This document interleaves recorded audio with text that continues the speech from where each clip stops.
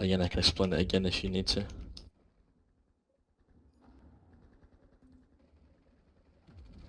Just gonna give a couple of minutes for everyone to get here.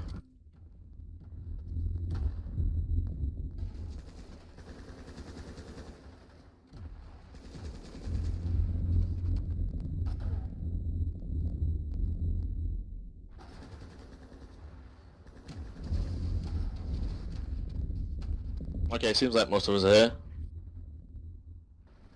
You're just gonna run down to the uh, vehicle terminals over by uh, by me,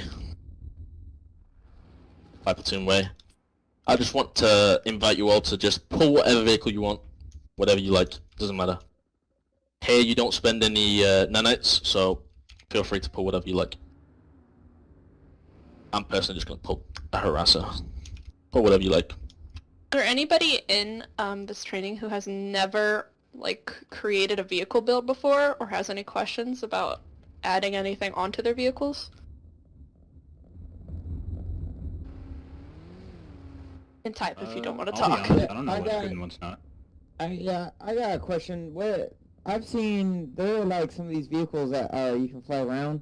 Um, they kind of look like a Valkyrie, but you can't like. You can put a gun on them and you can just shoot them yourself. You don't need to have a second person in there with you. They can shoot rockets and stuff. An ESF, like a like a scythe or a real like attack. Yeah, something like plane? that. Because I've tried like looking on sites and stuff. Are you able to put rockets on Scythes? Yeah, yeah, you can put rockets on Scythe. You can put um different types of rockets, anti-vehicle, anti-infantry rockets. And then also on the the Colossus tank, Yeah, that's I would um I'm not going to focus much on that. It's more of a outfit vehicle. So to pull that, you have to be in an outfit and then also have the resources and then the Oh, uh, permissions to pull that. uh, what For questions the do you Colossus tank, have? for you guys who are not aware, Like, are you just, like, tank trying to over think about we are training. What's Looks like, good? Uh, Grouchy's put one here. Uh, yeah, in terms of big, big tank tank. builds, really, just turrets and Big cannon, turret- big lot of tracks on it. That's your Colossus tank, and that is you can't see that on your normal terminals. So if you're wondering, that is that's on the big, uh, big terminal over by the. Uh, it should be. Uh, Nick, um, one of my one of my people had a question. They asked it on chat. They're uh, re- asking for recommendation Recommendations on what, sorry? ag rider builds. Upgraded builds. Uh, depending on what you want, uh, I'm guessing um, want uh, anti-tank. That's what I, I'd assume you'd pull the Mag Rider for. Um, I would say uh, you want to use the. Want to use the uh, the Supernova FPC, and then I would either say the uh, the halberd or the Saron on top, so then that your passenger can also do um do uh do damage to vehicles. So again, that is the the Supernova FPC. That's your armor piercing cannon. It's about a thousand certs, I believe, to uh, buy, and then also your anti-tank um, gun on top should be the halberd or the Saron. Uh, in terms of um, abilities and stuff, uh, I would invite you to mess around what you'd like. Because they have, there are some different ones like, uh, I'd say just fire suppression is good for now, so you can just repair your tank from the inside. Other than that, um, I would, I would say experiment with some of the abilities. Mind if I expand on what you've Yeah, said? go for it. Yep. If you're a new player and you don't want to do all new weapons, uh, bone stock mag rider, you could just go after reload speed on both cannons. Stick with your Bassi, stick with your main cannon, and be fine that way. If you want to specialize, you can definitely use the loadout he just said as well. Um, the other way it is a little cheaper and it'll put you on the same playing field for the most part. So just keep that in mind. You don't always have to get a new weapon. What you start out with is really, really good and highly adaptable. Yep. Okay. Let's move on to some um, keybinds. Now, once we're in vehicles now, I'm just going to go over some keybinds. The first keybind I want to talk about is your obvious WASD. That's to move your vehicle around. You know, W to go forward, S to go back, left, right, AD. and then you have, you know, your obvious right click, left click, right click to zoom, and left click to shoot. Now, depending on what vehicle you're in, obviously, you know, you don't have a gun or not, so just keep that in mind. Uh, the next ability I want to talk about, your next keybind, sorry, I should talk about, is the F key. Now, your F key activates your vehicle's ability.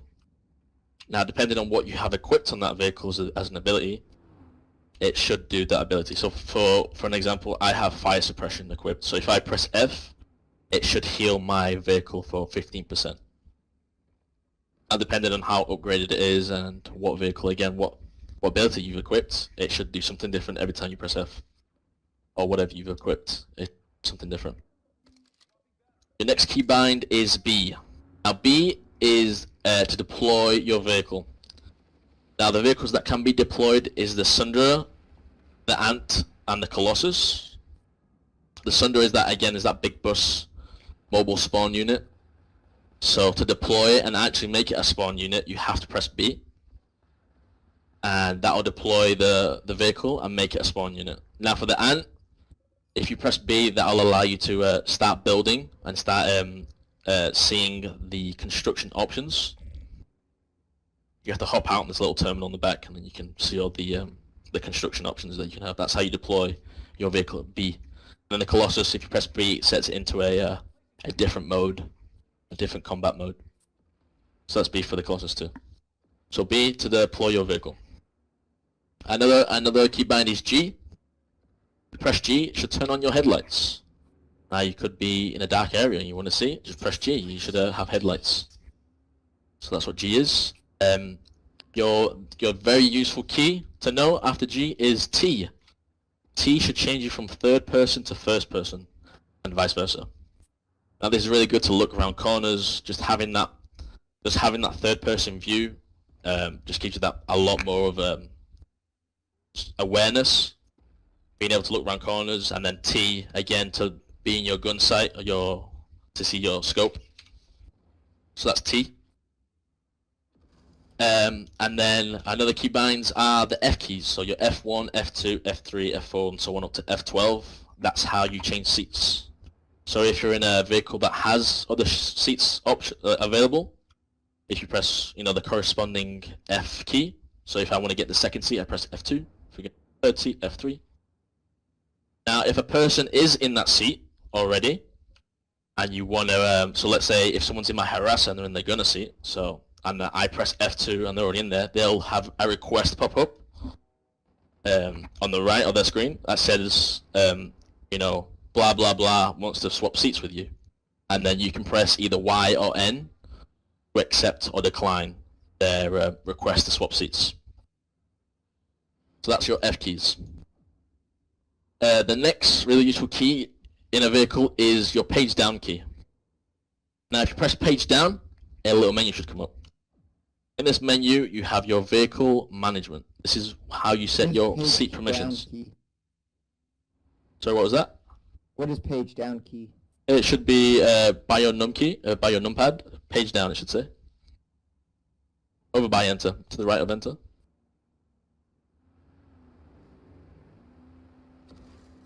Should like PGD in? Yeah, It's yeah. not doing anything for me. Not doing anything? It should, should be the default keybind. It should be in the vehicle though. It should be your vehicle. Some You should be in right the vehicle. The arrow keys. Yeah, right Yeah, you should be in the vehicle and it should be your vehicle. Yeah. Then the Should be in page the down works. You may have accidentally rebinded it if you have like a different key for it. If you use the page down key for something else. You can uh, look in your... Because I'm in a Colossus? Oh, Uh, no, I think the Colossus still has the uh, option.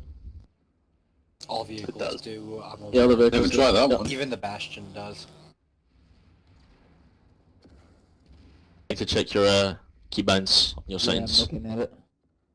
So yeah, page down is should bring up a menu for everyone. Now this is your seat permissions. This is how you um, change who can get in and uh, into your vehicle, who has access to your vehicle. So the first default permission is unlocked. What that means is anyone can get in your vehicle. Blueberries, your platoon, your squad, anyone can get in your vehicle. Doesn't matter who they are. Enemies obviously cannot, just to keep that out there. Enemies cannot get in your vehicle, so that doesn't mean unlocked that anyone can just get in. Uh, another thing is, um, just because it says unlocked doesn't mean they can just steal your vehicle. They can't get into the driver's seat. They can just get into the gunners and the passenger seats. So just keep that in mind. So don't be worried, you know, if you leave it unlocked, you can't just run away, I don't know, change your class, and it'll be gone. Some blueberry, or some puppy has stolen your vehicle. But don't worry about that. The next option is squad and platoon only, and that's exactly what it says. Only the people in your platoon and your squad can access your vehicle. So those people that aren't like now, for example, anyone in my alpha squad or in my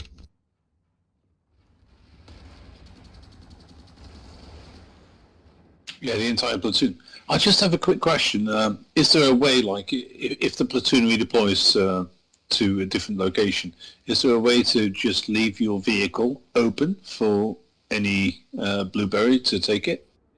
to to um, like be the gunner, be the driver. Sorry. No, be the driver. Because Be the driver. You know, you're, you're, you're fighting somewhere, your platoon gets called off to the other side of the map to take care of the TR front, and so you park a vehicle close to a bunch of puppies, blueberries, and um, and you leave your vehicle. Is there a way to set it so they can use it? Uh, no, the only way you can do that to forfeit your vehicle is to pull another vehicle. So if you have, if you have, um, if you're on the unlocked section, that means that puppy cannot take the driver's seat. It only can take the gunner and the uh, passenger seat. So to actually forfeit your vehicle or give your vehicle to the puppies, you have to pull a different vehicle. Good to know. Thank you. In other words, uh, What is so the name of the function in the key bindings? It should be. I'm not. Should be. I think it's just page down. And even Yep, vehicle tab, page down. Vehicle management. Yeah, vehicle management should be. That's what it should be labels as.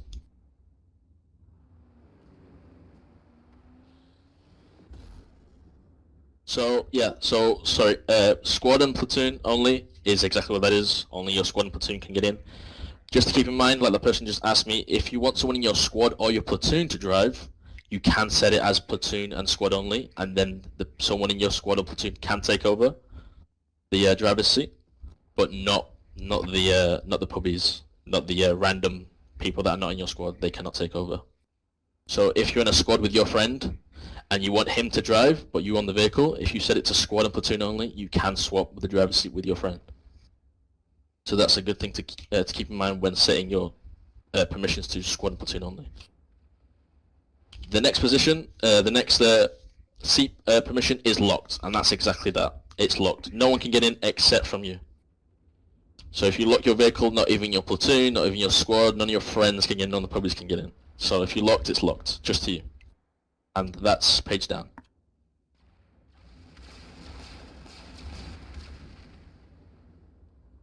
Another key is your horn. X. Press X. Now, some you might notice some people have some funky horns.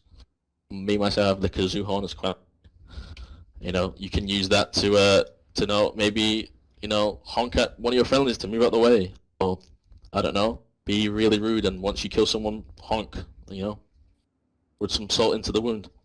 Type thing. I like to do that. horn, best horn. Whale horn. It's a good horn. And that's your X key for the horn. So, any questions on the key binds except from the person that couldn't figure out? I got it figured out. It was set to a You different Okay. uh, page down. I have like two page downs on my, on Okay, my uh, keyboard. Yeah, it should be in there. Any questions on the key binds? Or on the keys in general? No, nothing? Okay. Uh, if anyone wants to just come up, uh, come up to Platoon Way, and just uh, kind of line up behind me. We're gonna just do a little mock um, armor column. What is an armor column? An armor column is usually called by your platoon lead if you're in a platoon. You know, if the enemies are push, if the enemy is pushing with a lot of armor, he might call armor, and that will form an armor column. Uh, in an armor column, there's some et- that you want to follow just to avoid further damage and just you know, uh, just be more. Uh, I don't know, just be be more useful to your team. and that's all about giving each other space, all about giving each other the right amount of um, backing up space, the right amount of, you know, turning space. So when in an armor column, um, especially in a situation like on Platoon Way where it's a tight squeeze, you want to make sure uh, the person in front of you has enough space to back up. So if the person behind me doesn't give me enough space and I get shot, what's my first reaction? I'm going to try to back up. I'm going to try to get into cover. And if a person's behind me blocking me, that's not going to happen. And then if that person behind them is blocking, you know, someone else is blocking them, and you know, it goes on and on and on, and we're not moving anywhere. We're just going to get killed at this, at this uh, little choke point. So just um, tips when in an armor column: stay on the sides of each other. That's probably the best tip. Give each other about, I would say, a lightning's length of space between the person in front of you. Uh, another thing I want to point out is the netcode on this game, as we call it. We call it client side. We call it client client side, and that is that the servers don't run very well, like network wise. So, coming from a person that has EU ping, I do not see. I do not see um, what my screen shows me. So if I'm if I think I'm in front of someone or behind someone, I'm giving them the space. I'm probably not. So I like to over I like to over exaggerate my space with the people because I don't know what they're seeing compared to what I'm seeing, and sometimes it can cause some collision uh, collision issues. And sometimes I've had it where I've just instantly died by touching someone because of collision issues and network issues. So just keep that in mind when in an armor column. Just make sure you're giving enough space, depending on your ping as well. Um, so just keep that in mind when in an armor. So I'm just going to set some waypoints down. Oh, if you just press uh, tab, and in the bottom right corner it should have network ping and server latency. Bottom right corner of tab, holding tab, bottom right corner. Now, the server the, the server latency changes over the over time. Like during the day, you know, peak hours it's usually the worst. So just keep that in mind. I'm just gonna lay down some. Uh, so just yeah, in terms of ping, just keep that in mind.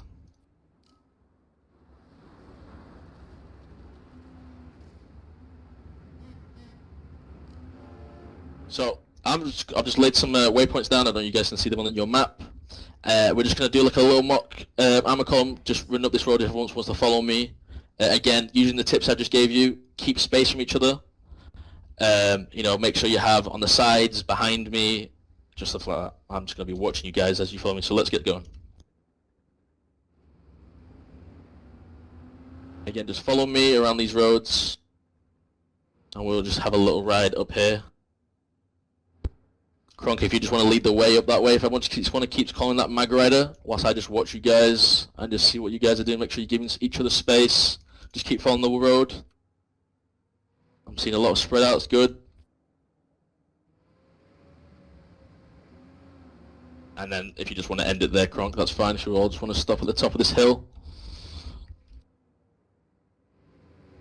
By Platoon Way, everyone wants to stop up here. Again, you know, avoid the terrain. The terrain is another another thing you need to watch out for. The terrain, apart from your friendlies killing you and the enemy killing you, your terrain is your next big, biggest enemy. Uh, just because you see a little bump in the road doesn't mean it can't flip you, especially in this game. The rocks are very dangerous, so keep that in mind when uh, in a vehicle. Terrain is very dangerous. Pebbles win. Pebbles win every Fucking time. rocks. They do. They win every time. Trust me, I tried it. Mike over there in a mag rider constantly dying to him. Yep. So, is on it- a rock, it'd be into you. Is there any questions on the on the uh, on the mock armor we just did? Any uh, questions on the efficacies of the mock armor column?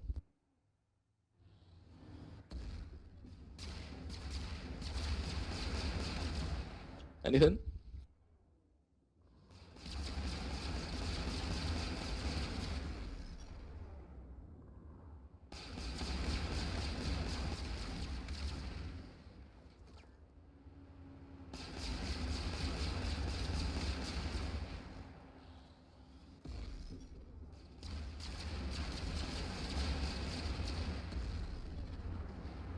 Okay, that's that concludes the training, guys. I just want to thank you all from uh, for uh, joining the training. I hope you learned something new. Uh, I think a lot of people were surprised by the uh, pulling from map. I know that gets a lot of people. It's a very useful uh, that, thing that to was have. the most useful thing I learned out of this. Completely. We have someone that learns that every single time they come Yeah. in. It's, So it's amazing. actually pretty crazy. Veterans too. There's people that have been playing the game and they they're like, oh, didn't know. Uh, I got- one question about the Colossus, or rather two. The um, uh, does this thing take Cortium? Yes. And when you're sitting here shooting it, it's like damaging you. Can like an engineer repair that, or is that just like gone?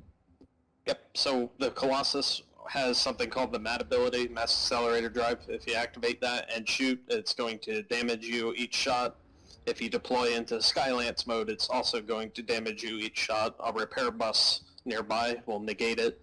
Or if you have fire suppression, it'll heal some of the damage. Or if you just simply repair it.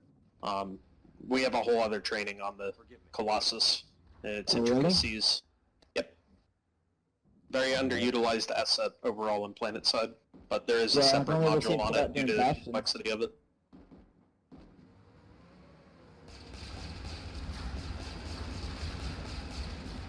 Any of you So- folks have recommend?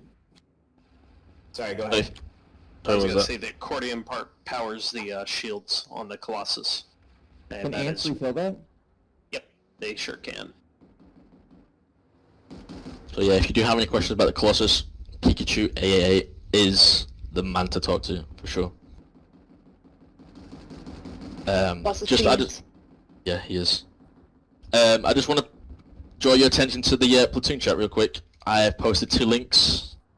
The first link uh, on above games rules is a little comment is the um, academy feedback. So if you feel like we did a good training here, always uh, use that link to give us feedback. And if you enjoyed the training or the training was useful or if it was bad, you know, if I did it bad, let us know in that uh, feedback. And then you have the feedback form underneath that link is the SKL feedback form. That is if someone in SKL has, you know, done something good, something bad, and you want to give specific feedback on them. That's the feedback form there. There are your two links again. The academy one is at the top, and then the individual person feedback is on the bottom. There are your two links if you want to give any feedback on this training or on a person in this platoon, on this training, sorry. Uh, that's about it, guys.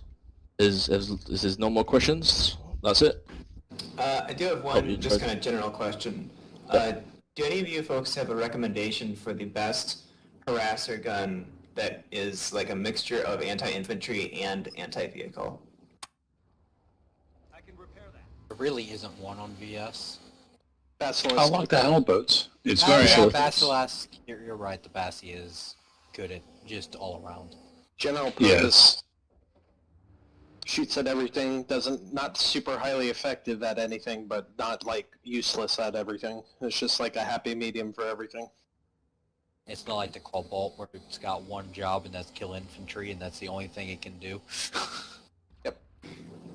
What do you guys think of like say the Aphelion? Can you deploy your versus thunder so the, Tweaker uh, can get back here? Basilisk.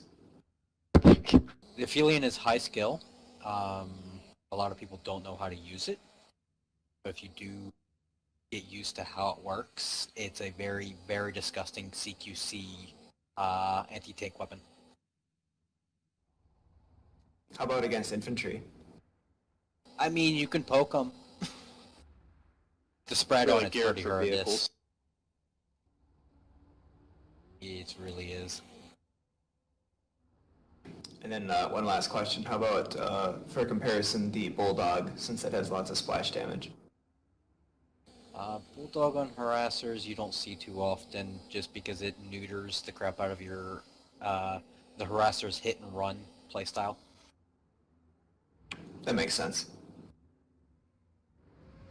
Yeah, I'm a really big fan of the Siren. It's my favorite gun on the Harasser. If you haven't used it. Hate on the harasser, so we have different opinions. Yeah, I love that. I like the Siren too. It's good. Both. It's good for long range planking. That, Yeah. that is very good. at I, I like the Hellboats. It's very accurate. You can Yeah, the shoot halberd- uh, The maxes in the halberd face. is a fist. It hits at all ranges and it just punches whatever it's thrown at. punishes you if you miss though.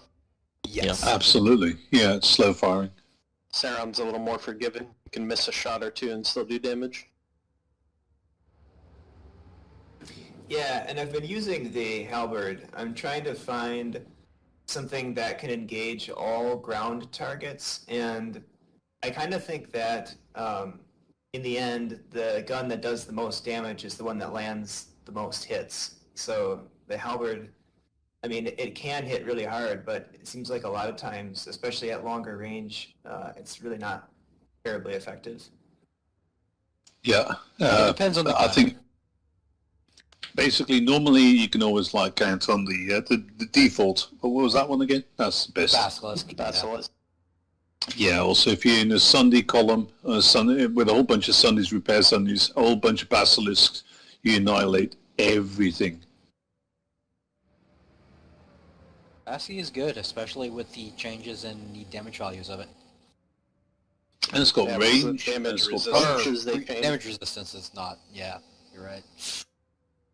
I misspoke. And the uh, a lot of us are typically see a Bessie on the uh, Sunder, the um, battle tank or the Mag Rider will have a higher, actually, and the Harasser and the Ant, the other vehicles have a higher rate of fire on the Basilisk.